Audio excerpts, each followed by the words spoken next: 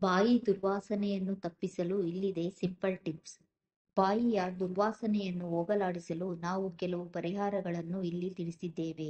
ಈ ಮೂಲಕ ಬಾಯಿ ವಾಸನೆ ಬರುವುದನ್ನು ತಡೆಯಬಹುದು. ಮೌಖಿಕ ನೈರ್ಮಲ್ಯಕ್ಕಾಗಿ ಹಲ್ಲು ಉಜ್ಜುವುದು ಮತ್ತು ಕ್ಲೋಸಿಂಗ್ ಮಾಡುವುದು ಮಾತ್ರ ಮುಖ್ಯ ಎಂದು ನೀವು ತಿಳಿದಿರುವಿರಿ.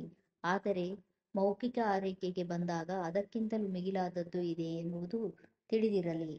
ನಿಂಬೆ ಅಥವಾ ಕಿತ್ತಾಳೆ ಸಿಪ್ಪೆಯನ್ನು ಚೆನ್ನಾಗಿ ತೊಳೆದ ನಂತರ ಸ್ವಲ್ಪ ಸಮಯದವರೆಗೆ ಅಗಿಯಿರಿ ಅವುಗಳಲ್ಲಿರುವ ಸಿಟ್ರಿಕ್ ಅಂಶವು ಕೆಟ್ಟ ಉಸಿರಾಟದ ವಿರುದ್ಧ ಹೋರಾಡುತ್ತದೆ ಮತ್ತು ಲಾಲರಸ ಗ್ರಂಥಿಗಳನ್ನು ಉತ್ತೇಜಿಸಲು ಸಹಾಯ ಮಾಡುತ್ತದೆ.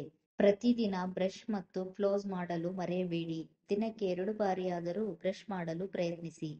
ಲಾವಂಗಗಳು ನಂಜು ನಿರೋಧಕ ಗುಣಗಳನ್ನು ಹೊಂದಿರುತ್ತವೆ. ಇದು ವಾಸನೆಯ ಉಸಿರಾಟವನ್ನು ಉಂಟು ಮಾಡುವ ಬ್ಯಾಕ್ಟೀರಿಯಾದ ವಿರುದ್ಧ ಹೋರಾಡುತ್ತದೆ. ನಿಮ್ಮ ನಾಲಿಗೆಯನ್ನು ಸ್ವಚ್ಛಗೊಳಿಸಿ. ನಾಲಿಗೆಯನ್ನು ಸ್ವಚ್ಛಗೊಳಿಸುವುದರಿಂದ ಬ್ಯಾಕ್ಟೀರಿಯಾ, ಶಿಲೀಂಧ್ರಗಳು ಮತ್ತು ಸತ್ತ ಜೀವಕೋಶಗಳನ್ನು ತೆಗೆದುಹಾಕುತ್ತದೆ.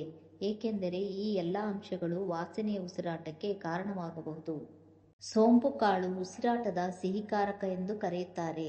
ನಿಮ್ಮ ಉಸಿರಾಟವು ದುರ್ವಾಸನೆಯಿಂದ ಕೂಡಿದೆ ಎಂದು ನೀವು ಭಾವಿಸಿದರೆ ಕೆಲವು ಸೋಂಪು ಕಾಳುಗಳನ್ನು ಅಗಿಯಿರಿ ಮತ್ತು ತಕ್ಷಣವೇ ನಿಮ್ಮ ಉಸಿರನ್ನು ತಾಜಾಗೊಳಿಸಿ. ತಾಜಾ ಪುದೀನ ತುಳಸಿ ಅಥವಾ ಪಾರ್ಸ್ಲಿಗಳನ್ನು ತಿನ್ನುವುದು ಬಾಯಿ ವಾಸನೆಯನ್ನು ತಟಸ್ಥಗೊಳಿಸಲು ಸಹಾಯ ಮಾಡುತ್ತದೆ. ನಿಯಮಿತ ಮೌಖಿಕ ತಪಾಸಣೆ.